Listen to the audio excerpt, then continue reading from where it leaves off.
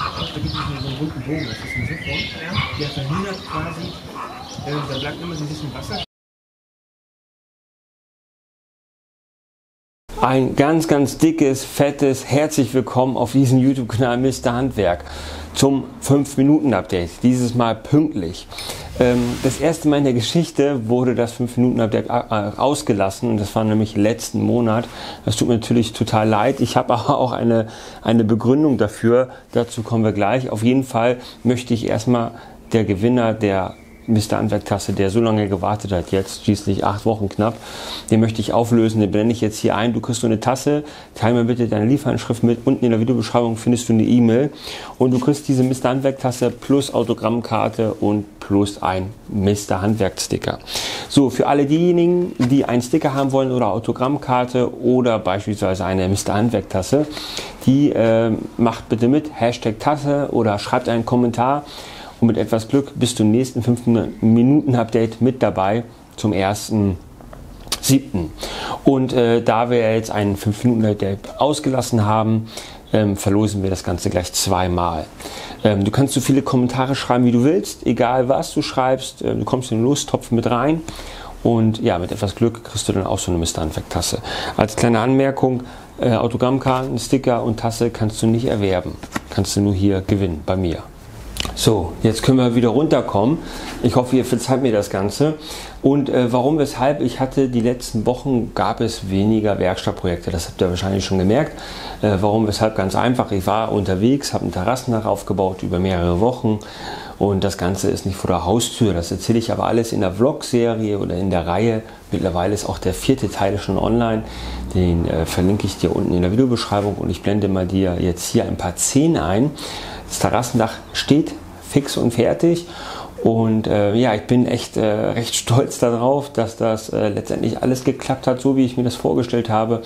Und ihr glaubt es mir vielleicht nicht, aber ihr könnt das Ganze bis auf das Glas ähm, ihr könnt das Ganze zu zweit aufbauen äh, mit entsprechenden Hilfsmitteln, beispielsweise Stützen. Ähm, Sparen habe ich auch alleine raufbekommen. Äh, Steffi hat natürlich ein oder das andere Mal mit angefasst, weil sie dabei war, aber ich hätte es auch alleine hinbekommen. Viele Sachen kannst du einfach bei diesem Terrassendach alleine aufbauen.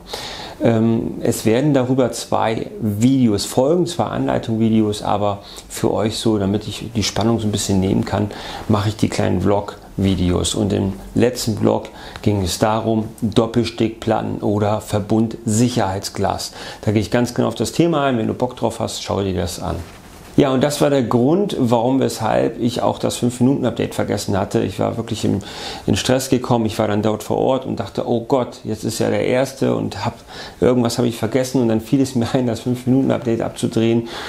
Und dann kam das eine zum anderen und dann dachte ich, okay, jetzt sind wir schon zwei Wochen drüber lohnt sich nicht mehr. Das war der Grund. Ne?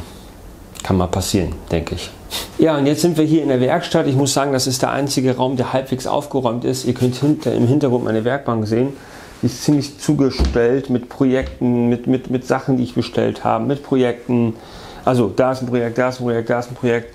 Ich komme gar nicht irgendwie dazu, das Ganze abzuarbeiten. Also äh, die anderen Räume möchte ich euch gar nicht zeigen. Ne? Deswegen wird es auch dieses Jahr, eigentlich gibt es immer einmal im Jahr so eine, so eine Werkstatttour, die wird es wahrscheinlich dieses Jahr nicht geben. Ich werde aber wahrscheinlich eure Hilfe brauchen, aber ähm, das besprechen wir ein anderes Mal. So, äh, kommen wir einfach, ich hatte mir einen kleinen Notizzettel geschrieben, da ist er. Schaut euch das Video bis zum Ende an sage ich immer, ich weiß, aber es lohnt sich. Ihr wisst ja, wir waren letztens, war ich mit Steffi äh, in Köln bei Wolfkraft, beziehungsweise in der Nähe von Köln, haben Wolfkraft besucht und haben da auch was Tolles abgedreht. Und ähm, am Ende des Videos löse ich das Ganze auf, was wir da gemacht haben. Ich, ich kann euch sagen, das ist ein richtig, richtig geiles Sommerprojekt. Und ähm, ja, es ist einfach nur geil gewesen. Oder das Projekt an sich ist einfach geil. Jetzt blendet die Sonne auch hier nicht mehr so stark. Für alle Neulinge 5 Minuten Update. Wie gesagt, es kommt einmal im Monat raus. Da gibt es rund die News, dann besprechen wir Projekte. Wenn ihr Anregungen habt, Fragen, das wird alles hier in diesem, in diesem Format gepackt. Ansonsten gibt es jeden Freitag, wenn ich schaffe, letzten Male war es nicht so, aber eigentlich jeden Freitag um 19 Uhr gibt es ein neues DIY-Video. Ähm, für alle Neulinge herzlichen Dank, dass ihr mich abonniert habt, dass ihr uns folgt, mir und Steffi, beziehungsweise Steffi und mir. Und äh, wenn ihr Bock habt, wenn ihr mehr sehen wollt, hinter den Kulissen vor allem, wenn ihr Stories sehen wollt, äh, dann äh, folgt uns auf Instagram oder auf Facebook. So, ähm, letzte Projekt war, glaube ich, sechs DIY-Projekte. Da habe ich alte plus neue Gartenprojekte gemischt in einem Video zusammen und habe die vorgestellt. Ähm, ich möchte mal von dir wissen, schau dir das Video an, das verlinke ich dir hier oben. Ich möchte mal von dir wissen, wie fandest du diese, dieses Format? Hat es dir gefallen? Weil ich habe da noch ein paar, also das ist jetzt nichts Neues, ne, wie man das schneidet, aber ich habe so ein paar Ideen, die man so angehen könnte und ich finde, man greift alte Projekte wieder auf, man sieht, ob man sich verbessert hat oder verschlechtert hat. Wenn das was für dich ist, dann äh, lass mal einen Kommentar da, Hashtag, ich weiß nicht, DIY-Projekte oder sowas oder ähm, dann ähm, kann ich das Ganze nochmal aufgreifen. Wie gesagt, gesagt, ich habe ganz, ganz viele Ideen. So, dann hatte ich ein Schwerlastregal gebaut. Ein ganz, ganz stabiles, günstiges Holzregal. Ähm, richtig, richtig tolles Videoprojekt, wenn du dir gerade dabei bist, eine Werkstatt aufzubauen. Das, ein Holzregal darf dir auf jeden Fall nicht fehlen. Ne? Wenn du ein Schwerlastregal suchst für, für Holz an sich, nur um Holz zu lagern, darüber gibt es auch ein extra Video, das verlinke ich dir auch mal hier oben. So, dann ähm, hatte ich einen Schreibtisch gebaut. Das war, ja, das war das letzte Video für David, für meinen Bruder. Und äh, nicht irgendein Schreibtisch, sondern ein Schreibtisch mit Altholz, mit einer Glasplatte oben drauf. Und das Tolle an diesem Schreibtisch, der kann hoch und runter fahren. Du hast vier Modis, wo du beispielsweise vier verschiedene Höhen äh, einstellen kannst. Dann hast du eine Sitzposition, die du selber einstellen kannst. Dann hast du eine Stehposition, die du selber dir einstellen kannst. Ein richtig, richtig cooles Teil, macht wirklich süchtig. Äh, das Video findest du auch unten in der Videobeschreibung, sowie alle äh, Zubehörteile, beispielsweise das Tischgestell. Dann wisst ihr, wir haben in den letzten Monaten, kann man sagen, viele, viele Renovierungsprojekte gemacht. Von Trennwand ziehen, von Schiebetür bauen, von äh, Boden verlegen, ich weiß nicht, von WC-Armaturen anbringen äh, und so weiter und so fort. Und dann gab es so ein, zwei Projekte, auch Wandprojekte vor allem, wo wir an einer Wand kamen und wir wussten den Rahlton nicht mehr. Wir waren uns ziemlich unsicher, was wir da genommen hatten für eine Farbe und das ist natürlich ein bisschen doof. Und da habe ich ein bisschen recherchiert und was gefunden. Es gibt ein von Datacolor, ein Color Reader. So sieht das kleine Teil aus. Das kannst du mit der App bedienen. Ist ganz, ganz einfach zu bedienen. Und wie das Ganze funktioniert, das zeige ich dir jetzt. Um den Color Reader zu bedienen, das ist wirklich ganz, ganz einfach, braucht ihr natürlich eine App. Ähm, die bekommt im App Store, müsst ihr euch runterladen. Das wird aber auch je nach Verpackungseinheit nochmal genau beschrieben. Wir öffnen dann die App und äh, wir haben hier unten ein paar Funktionen. Einmal hier eine Farbkollektion, zum Beispiel RAL-Farben, ähm, unterschiedliche ähm, Sachen, die ihr auswählen könnt, beziehungsweise Farbtöne oder Farbeinheiten. Hier haben wir beispielsweise einen Verlauf, finde ich ganz, ganz praktisch. Ähm, da kann man nochmal nachsehen, wo was gemessen worden ist und welche Farbe. Und ähm, hier haben wir beispielsweise Messen. So, das heißt jetzt, wir müssen es mit einem Color Reader äh, verbinden. Ähm, es kann sein, dass ihr den vorweg kalibrieren müsst. Das ist ganz, ganz einfach. Ihr habt hier zum Beispiel unten eine kleine, ein kleines, ja, so ein Blättchen, eine Abdeckung. Die müsst ihr, wenn ihr messen wollt, natürlich öffnen. Und beim Kalibrieren macht ihr einfach zu, macht das Ganze hier an, da ist ein Knopf. Und dann legt ihr das Ganze so auf den Boden hin. Dann kommt hier durch die kleinen Kammern Licht und äh, er misst dann quasi die weiße Abdeckung und kalibriert sich quasi äh, Standard oder weiß dann. Ne? Wenn wir jetzt messen wollen, müssen wir uns mit dem Gerät verbinden. Das heißt, wird alles genau beschrieben, ganz, ganz einfach draufdrücken, auf Verbinden drücken. Es kann natürlich jetzt sein, dass er sagt, wir müssen das Gerät nochmal kalibrieren.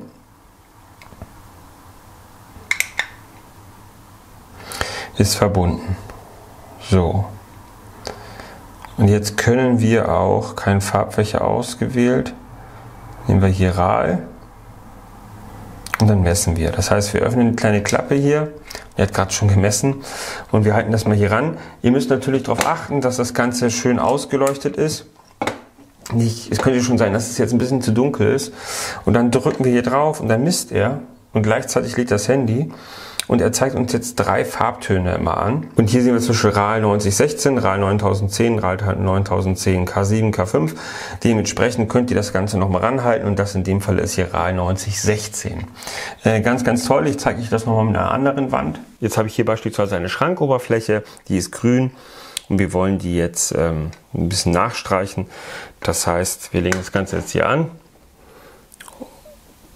drücken auf Messen und dann drücken wir den hier, dann misst er nochmal Und ihr seht jetzt hier in der App beispielsweise RAL 6, 60, 16, 60, 16, 40, 35. Also er zeigt euch verschiedene Töne an. K7 RAL 60, 16, das ist das. Und dementsprechend können wir dann beispielsweise jetzt in den Baumarkt gehen oder in Online-Shop und uns dementsprechend die richtige Farbe bestellen. Ein richtig, richtig tolles Tool, wie ich finde. Und alle Infos dazu wo du das erwerben kannst, Rabattcodes und so weiter und so fort, findest du unten auch in der Videobeschreibung verlinkt. So, und jetzt wollen wir das große Geheimnis lüften, was ich bei Wolfkraft gemacht habe. Wir haben eine Outdoor-Küche gebaut. Mit Tobi zusammen. Ähm, und die könnt ihr euch in der neuen It Work Serie anschauen äh, von Wolfkraft mit verschiedenen Haltevorrichtungen, mit Licht beweglich und ganz, ganz wichtig mit fließend Wasser. Und natürlich kannst du die noch optional irgendwie erweitern mit einem Grill und so weiter und so fort. Natürlich Achtung, Brandschutz sollte man beachten. Ein richtig, richtig geiles Projekt und äh, ich zeige dir mal hier eine Aufnahme. Derjenige ist, der diese Küche auch konzipiert hat und sich ausgedacht hat. Viele von euch kennen ihn durch seinen YouTube-Kanal. Liebe Zuschauer. Geil. Mega. Jetzt die große Ja, ja, alles gut. Immer, oder?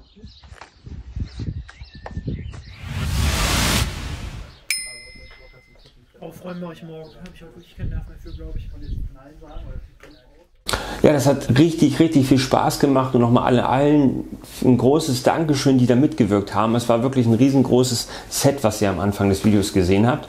Er hat ganz, ganz viel Spaß gemacht und ich hoffe, euch gefällt dieses Video. Link dazu findest du unten in der Videobeschreibung oder einfach auf YouTube eingeben.